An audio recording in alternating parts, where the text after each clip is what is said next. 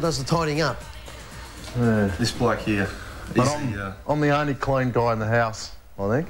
I'm not too bad, and I do a bit of cleaning up, but uh, it's hard looking after these blokes. We've got the Minister for Health here, that's Harry's nickname.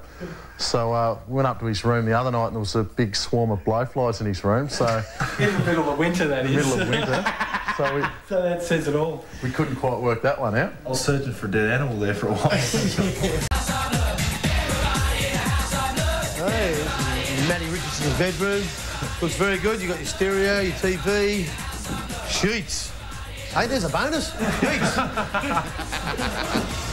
your mum will be proud of you, Richard.